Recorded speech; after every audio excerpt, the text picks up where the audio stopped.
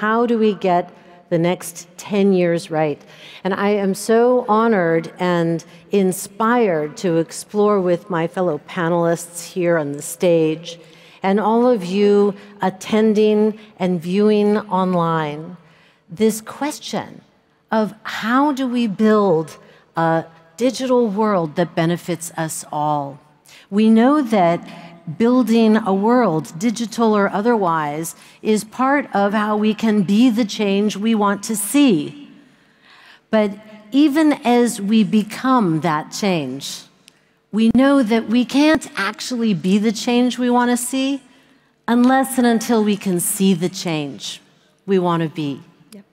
That's where this panel comes in today, and that's where Leonardo's work is as the International Society of Arts, Science, and Technology.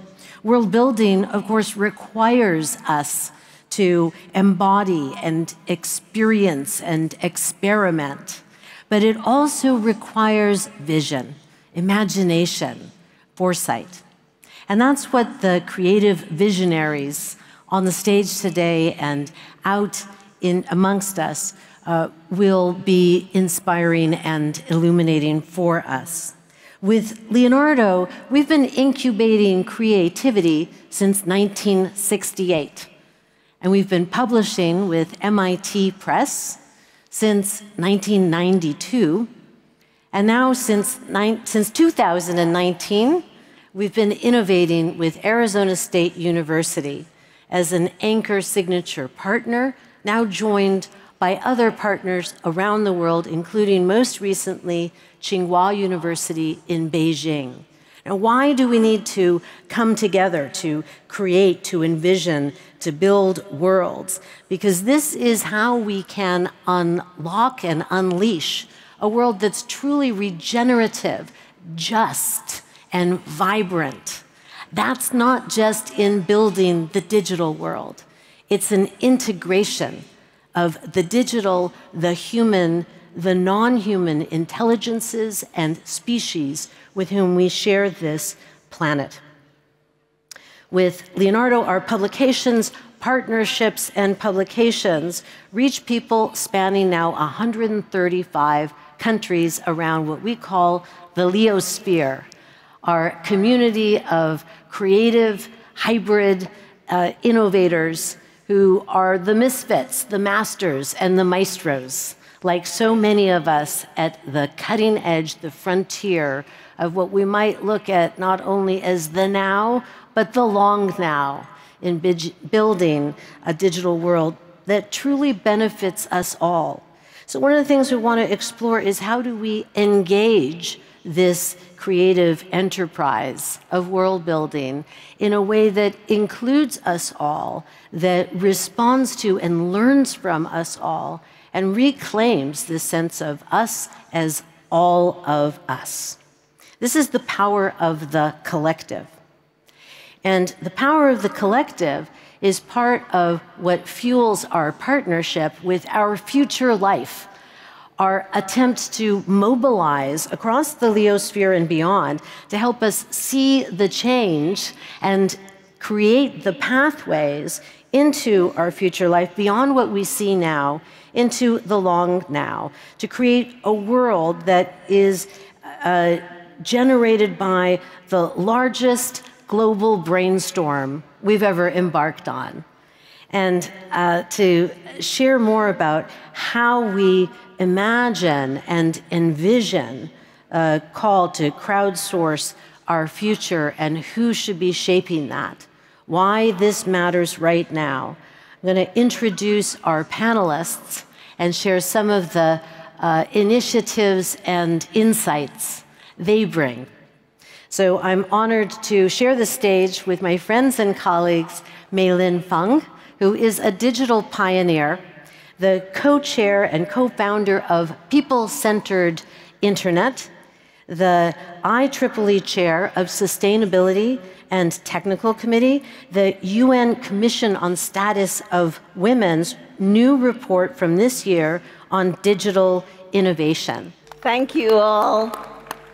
The People Centered Internet asks you to see the change you want to be. Why? Because 50 years ago, Vint Cerf and Bob Kahn came up with the TCP/IP spec, which underlies the internet. Before that, there was no internet. There was a funny question on Quora. How did they run World War I without the internet? That's how people feel about the internet. It's like the air we breathe. But somebody had to see it before it could become. I'm originally from Singapore. People in Singapore had to see it before it became the miracle of the 20th century. And now here, the UK says, we want to be Singapore on the Thames. Uh, that's a big change. so you have to see what you want to be. And this is the call to action. What is our future life?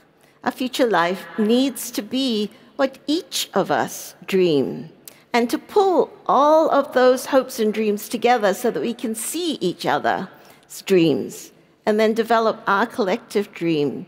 The next 50 years of the internet, of the world, of the first time humanity has the chance to be connected instantaneously in space is it's a mind-blowing idea and we want each of you to contribute it contribute to it because the internet will be lost without you it feels like air to you but if we don't feed it with our dreams we will let other people's dreams take over people who perhaps want power or uh, want money.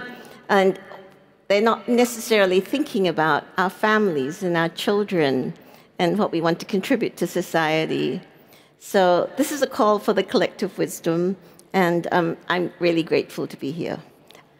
Beautiful. You know, the call for collective wisdom that you speak of as a way to aggregate and invite, the power of invitation our dreams, to let the future of the internet, the future of a digital world, be fueled and driven by our dreams is central to how we'll build a digital world uh, for uh, all that benefits all. And I think that's a that's a nice way maybe to tie in with your work, Indrani. And I'm honored and delighted to uh, uh hear from you, Indrani Pal Chaudhuri is not only a filmmaker, uh, but an activist and entrepreneur, the CEO of Shakti Regeneration Institute, and co founder of Open Origin and Neuralign, among other initiatives. I'm going to pass this to you and uh, let you share with us some of your dreams and how you're enacting that through this creative work. Thank you so much. I'm so honored to be here with you two brilliant women and with this wonderful audience that's gathered here to envision our future together. So, this is some of my past. I was very fortunate to photograph and film with many of the legends of our times, from David Bowie and Iman, who discovered me, to Beyonce and Lady Gaga, and many other familiar faces. But for me, what has been equally or, or, even more profoundly transformative has been spending time with people who are disenfranchised, with people in the Amazon, in, in indigenous communities around the world, and learning from them and seeing how our perspective, what we take for granted, this world with internet, this world with technology enabling everything we do, is a very new and and perilous place from many perspectives. And, and looking at it from the perspective of the Amazon, where, where I was recently, I spent two months there, and the spiritual aspects, the, the connection to nature, the connection to oneself and one's own inner nature can often be overlooked in the whirl of new technologies and new ways to connect. So, as a photographer and a filmmaker, of course, everything I do is based on technology. And we think of these as arts, but they are technical forms. So, as we imagine the future, it's very important for the filmmakers, the storytellers, and in that, I include everyone because everyone is publishing constantly on the internet. We've all become photographers, we've all become filmmakers, and we all share a massive responsibility, I believe, to envision a future that really uh, allows for everyone to thrive, allows for nature to be central, because we all know that without it, none of us have any future. And I find that I, I really believe that we have a pathology of imagination in our global culture. So many, I would say most films and stories center around apocalyptic visions of the future, dystopian futures, or futures where it looks like everything's good, but there's some fatal flaw that's going to get you. And I think it's really important that we learn to imagine better and imagine other alternatives as well, which is not to say everything has to be perfect and rosy, but we need to engage ourselves in the process of imagining what it could be like to have a future where we do care for the poor, we care for those who are disenfranchised, we care for every perspective. So, this is a, an image from my, my trip to the Amazon, and the spiritual leader there said, Nature is what humanity needs. You know, we, we feel that nature needs us, but that's not the way it is. We need nature, and studies all show that without it, we all fall apart. So, this is the tribe that I was working with there, and what's, what was really exciting was bringing them together with 120 scientists to engage in the X Prize, and we became semi finalists of X Prize Rainforest, looking for biodiversity solutions, mixing technology, filming technologies mainly, using drones, using different ways of surveilling the natural environment, uh, turning on, on that environment what has been turned on us as humans so that we can actually know what's there. And it was very exciting to see these clashes of perspectives and coming together in harmony. And I believe that by looking through different lenses, by really embracing diversity not as something that is uh, you know, something that we need to do so that we, we aren't the bad guys, but rather so that we can learn from those who see things differently and can therefore inform us. Women, people of color, you know, less than 1% of films and stories uh, and photography is by women of color, and yet they're the majority in our, in our world. So I think it's very important that we remember that when we look at images and films, that we are seeing through a narrow lens. And let's broaden it. Everyone has the great ability to create content that will change the world. So let's talk a bit more about how we do that. If we are looking to create a more imaginative future uh, and, and cultivate that sense of imagination uh, as a response to the, the pathology or absence or, or disease that, that is restricting that. Um, what are some of the pathways that we're finding most inspiring, most important right now as we have the emergence of AI and other frontiers yet to be disclosed, yet to be discovered? What are some of the qualities and strategies we'll need to bring with us as we move forward?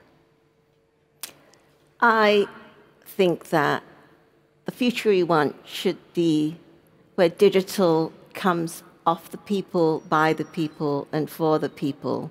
The, the people centered internet stands for the promise that it's not just about government of the people, but we have an internet of the people.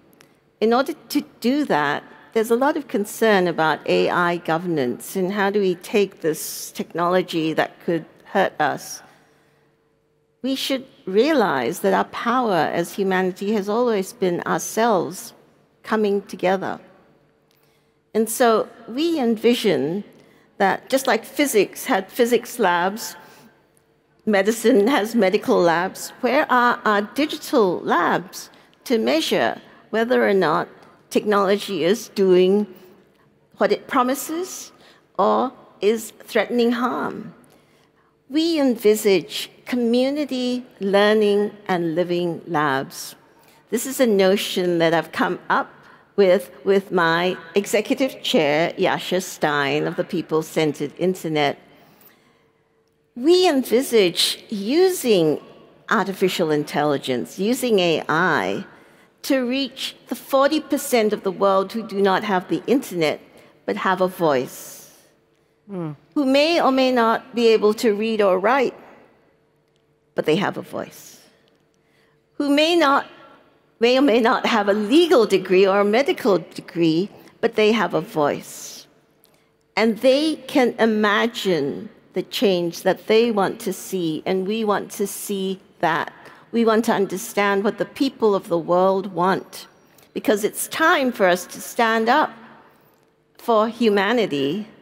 And the internet offers that. The internet offers the promise of participation for all. That is the dream of the mothers and fathers of the internet.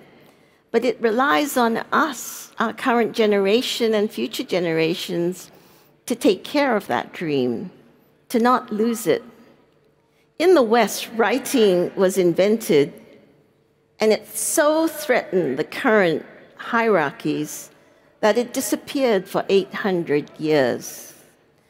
I would like you all to think that if the perils of the internet today so threaten the current hierarchies that it disappears for 40 years, what would that world be like? And I want to say we have to care enough to envision a better future so that the technologists and engineers, the digital visionaries, can take those dreams and help them come true. The internet is lost without you and your dreams. So, a couple wonderful pieces to, un, to unpack there and, and continue the, the, the, the threads you're weaving. Um, one is, is the reference to access, the 40% of the population who are not online, who are disenfranchised today. That can change. We can close that digital gap, and we must. But wait, there's more, because the coming together through labs, uh, and through a diffused uh, uh, non digital space as well will inform not only those labs and the digital world building, but our integration of the digital with the other parts of our life and our world. Um, and that matters. I think one of the things that's so critical about this pivot point we are in as global transformation is that we know what's at risk. It feels so consequential because it is. So, Indrani, when you speak of the bombardment we receive of apocalyptic images, that becomes our fear fueled worldview.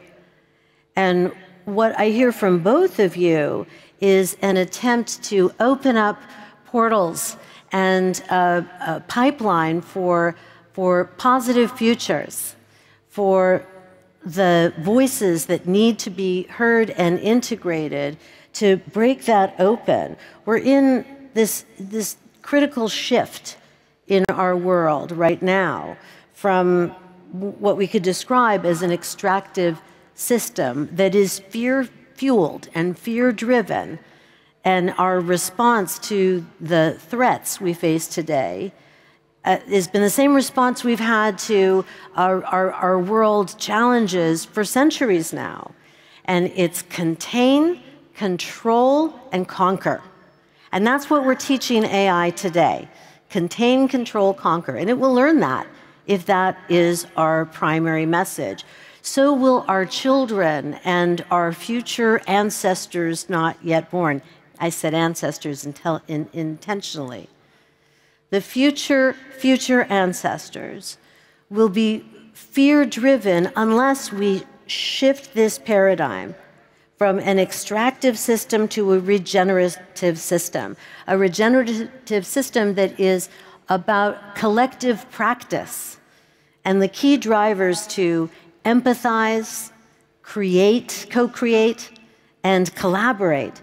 And if instead of contain, conquer, control, we empathize, co create, collaborate, we would be teaching the frontiers of AI, the internet of the next 50 years, and all the digital world building that we are engaged in now a completely different paradigm.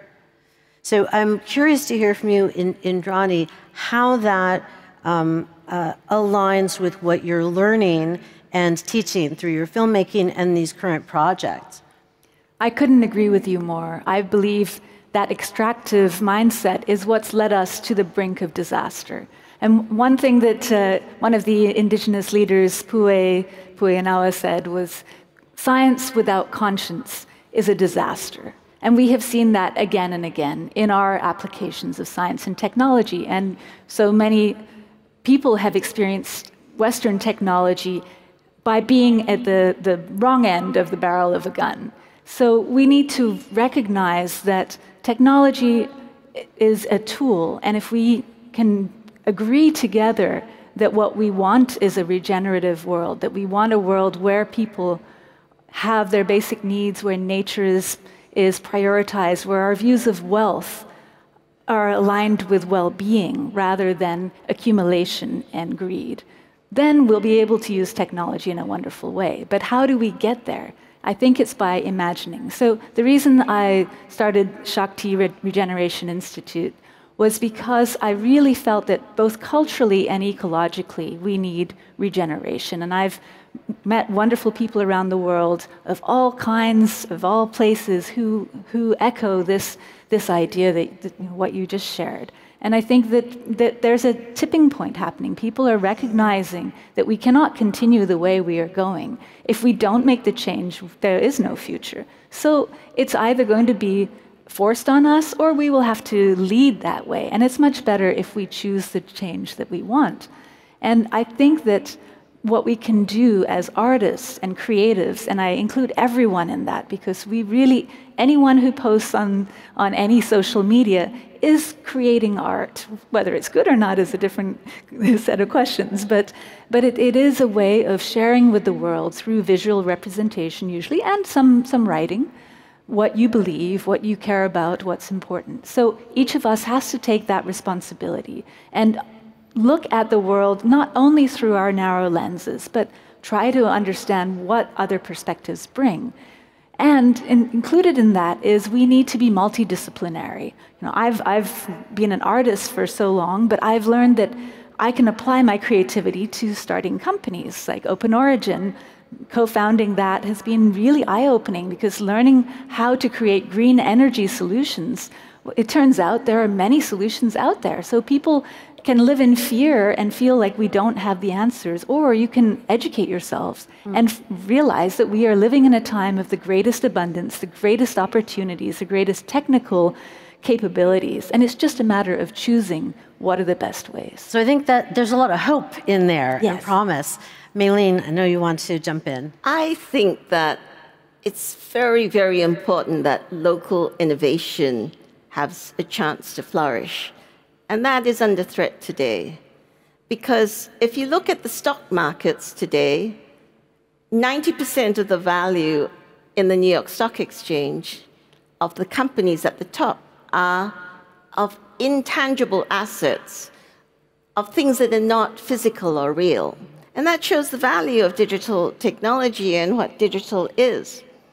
But if you take a small business and they want to borrow money to start a sewing business or to start a laundry or a childcare, they have to put up physical assets to access the money they need to start the business, to buy the equipment, to hire the people. If we go on the way we are today, there will be no small companies because the value of the assets in the world will all be digital, but small companies can only borrow based on their physical assets. We have to change this. We have to help small companies actually be able to count their digital assets. Mm. So, as they're using the phone and they're taking orders, as they're buying equipment, all of those transactions are the digital assets for small business. So, within the German G7 and the Japan G7, the people centered internet, has proposed the concept of digital utilities, data cooperatives, where we can actually start to let people put in a data bank, bank their data, so that that can be used for them to access the liquidity, the financing that they need to grow their businesses. We believe this is essential to decentralize innovation, to allow anyone, anywhere, to realize their dreams. But it does start with a vision. See the change you want to be. Then tell other people. Hmm. Get their help. Get their ideas. Get their feedback, whether it's good yeah. or not. It's going to make your idea stronger. And together, we can change the world. But first, you've got to see the idea and be driven by your dream. At, so, the, at the age of 14 in mm. Singapore, I realized that digital technology was going to change everything. And I have followed that dream for over 50 years. What it has done for me to follow a single dream is to acquire the knowledge, the networks, the intuition, the ideas, the friends, to actually begin to realize this possibility that, in fact, anywhere in the world can be a Singapore. The only asset Singapore has is people. People is all we need to have our dreams and to make them real. We can realize the impossible. And to do that, we need hope. We need hope. Hope is what we will counter the fear fueled system with so that we have new financial innovative systems that, that increase access, so that we have new ways of being in the world and looking at the world and seeing the world, not only to see the change we want to be, but to enact that, to share that. Hope is the antidote and the inoculation to fear.